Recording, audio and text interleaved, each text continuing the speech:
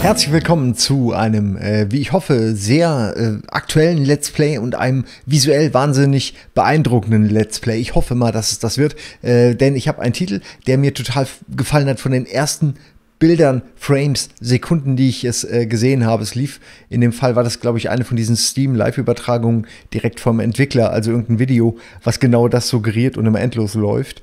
Und äh, da sah man ein UFO durch die Wolken fliegen, zang, zang, babam, dann wurde daraus irgendwie eine Kugel und äh, mit der Kugel konnte man unten auf dem Planeten rumrollen. Fand ich instant geil. Habe ich mir direkt die Demo runtergeladen und die möchte ich euch jetzt zeigen. Da ist sie. So, Moment, alles mal ausrüsten. Und weil ich einen Counter sehe, habe ich mich nicht getraut, das Ding zu starten, weil ich mir nicht sicher war, wie lange ich vielleicht spielen kann. Äh, und ich wollte es mit euch machen, deswegen habe ich schnell nochmal alles angeschmissen und drücke jetzt auf Start.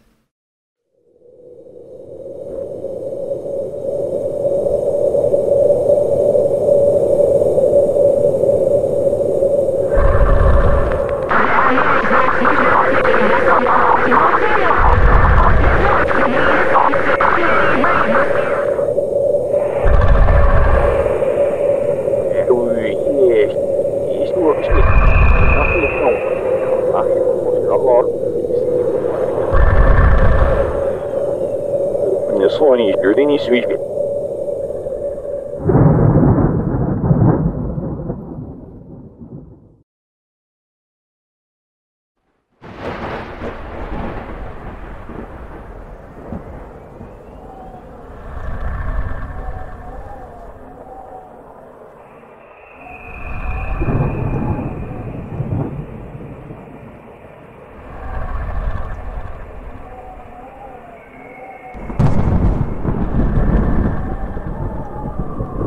Bin mir nicht sicher, ob ich schon irgendwas steuern kann. Ich glaube nicht. Das ist wohl irgendein ferner Planet, auf dem dieses Signal eventuell losgeschickt wurde, weil man da gerade sowas gesehen hat.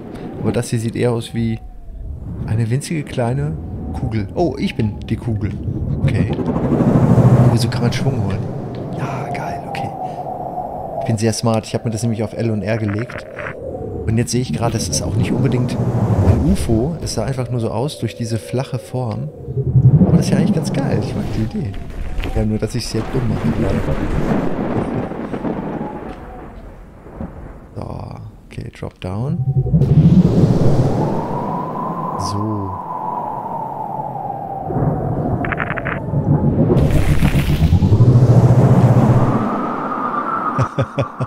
das ist schon ganz geil, muss ich sagen. Das äh, hat eine sehr schöne Energie, einfach dieses. Oh, fuck, das war ein Fehler. Das habe ich wirklich schon kommen sehen. Dieses, diesen Schwung holen, das, das fühlt sich gut an. So, jetzt muss ich aber hier erstmal wieder hochkommen.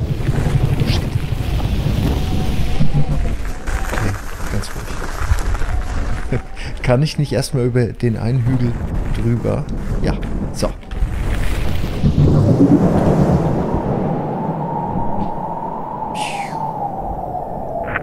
Oh, oh, oh, jetzt ist die Energie weg. Die kinetische Energie ist weg. Das ist ein geiles Konzept. Wirklich. Hier ist auch eine Rampe.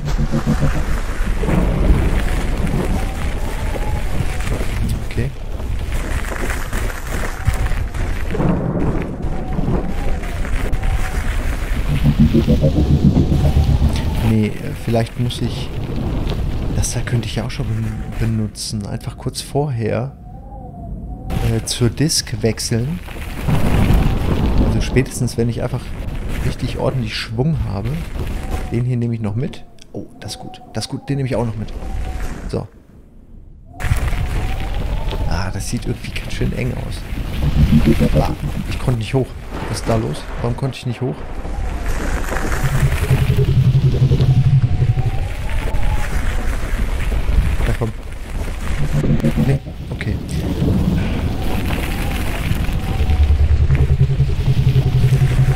nichts aber. Erstmal hochrollen. Dann die Power holen. L drücken.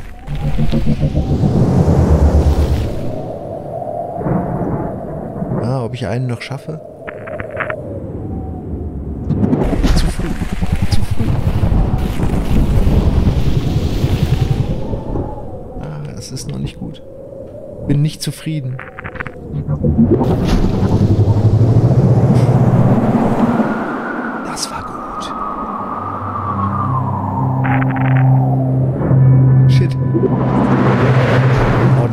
Dieser kurze Moment über den Wolken ist ja wundervoll.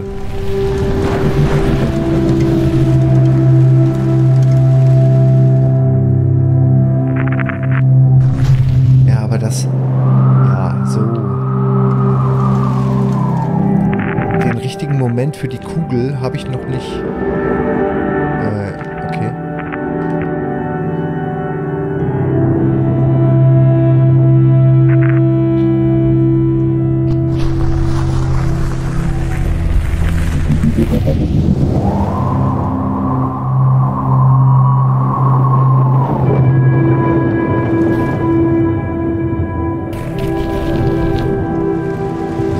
Bin mir nicht sicher, was sie mir beibringen wollen, aber es sieht auf jeden Fall toll aus. Es steuert sich toll und es macht Bock.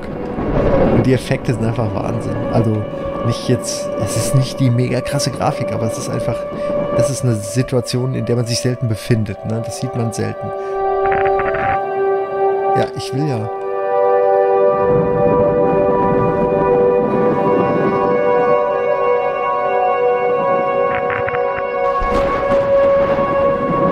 Aber, dass, mir, dass ich jetzt erst, er kriegt ja auch immer wieder neue en Energie durch das Fallen. Ich muss einfach nur ab und zu zur Kugel werden, bis ich wieder glühe. Und dann kann ich scheinbar endlos fliegen. Hammer. Was für ein geiles Konzept, jetzt mal ernsthaft. Es erinnert mich sehr an Flower. Oder Flowers. Kann ich auch jedem empfehlen. Es ist ein super schönes Spiel.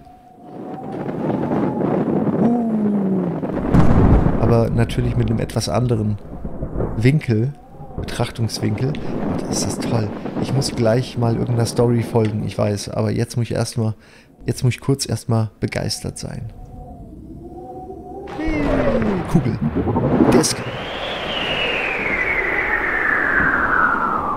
Geil.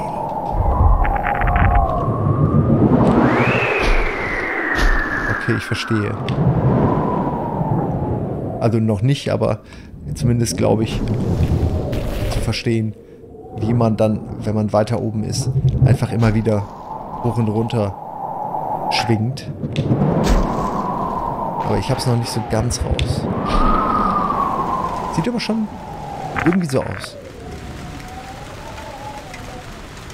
Ah. Klonk.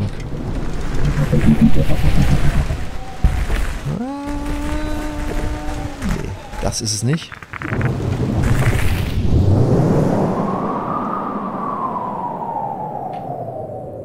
Diese großen Strukturen, die wir auch hier sehen. Ich meine, vielleicht ist es einfach nur ein gigantisches, gigantischer Minigolfplatz von irgendwelchen Aliens, die sich diesen ganzen Planeten dafür genommen haben, als, als Minigolf-Area. Oder es sind irgendwelche alte Alien-Azteken auf irgendeinem anderen Planeten. Schon sehr interessant, welche Bauten das sind und was das überhaupt, was bin ich? Bin ich, bin ich am Leben? Bin ich nur äh, irgendein, irgendein Spielzeug? Was ist da die, dieses Leuchten da hinten? Da will ich eigentlich hin. Da fliegen wir hin.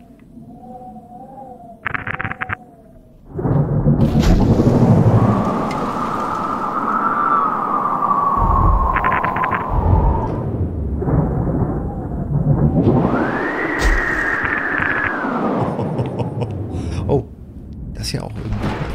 Ich dachte gerade für einen Moment, das wären Tentakel, aber das sind leider nur, glaube ich, Bäume.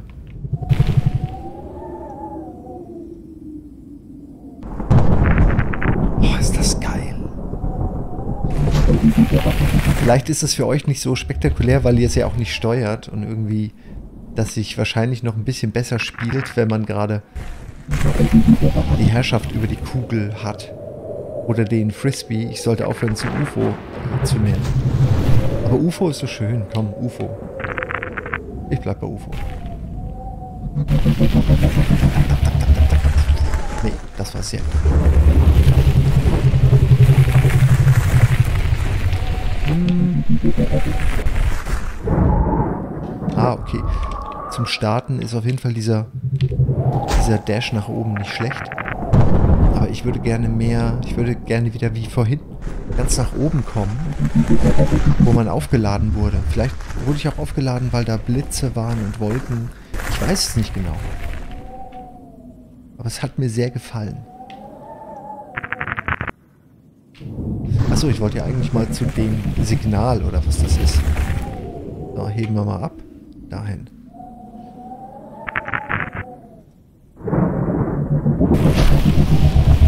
Shit, ich verplane auch den, den Absprung immer.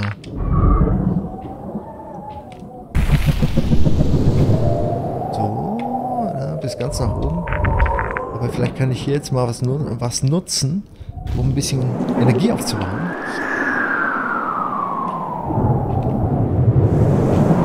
Oh, ist das toll. ah, es, es haut nicht ganz hin. Oh shit, verkackt.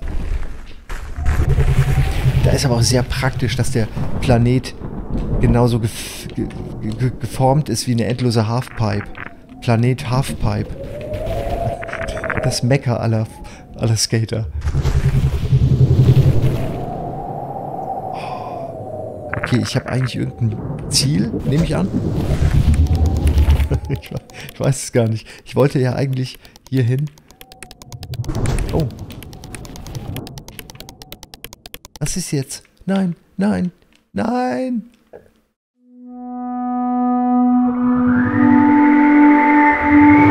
Da ist ein Video. Ja, da sieht man jetzt wahrscheinlich einfach ein paar andere Locations und ich bin jetzt schon, ich werde es mir jetzt schon holen, hundertprozentig. Das ist ja mega schönes, meditatives, weiß ich nicht, Rumfliege Gaming. Also die beste Kugel, die ich je erlebt habe. Und bester Frisbee. Das ist die Szene, die ich gesehen habe, als ich mich äh, schon drin verliebt hatte. Genau diese Geschichte jetzt hier mit den Wolken. Oh Mann, ey. Das ist auf jeden Fall etwas, was ich meiner Mutter zeigen werde. Hundertprozentig. Das werde ich kaufen, meiner Mutter zeigen. Und sie wird es sehr schwer haben, diese Genetik dahinter zu verstehen. Ähm, da wisst ihr wenigstens, wo es herkommt. Ne? Irgendwo muss ja so. Exo One, ein ganz herausragendes Spiel. Ich würde euch das sofort ans Herz legen als Demo oder irgendwas. Spielt es einfach, spielt es gut, gebt gute Bewertungen ab, bestellt es vor, holt es euch. Das war meine Message. Holt es euch. Zu Exo One. Tschüss.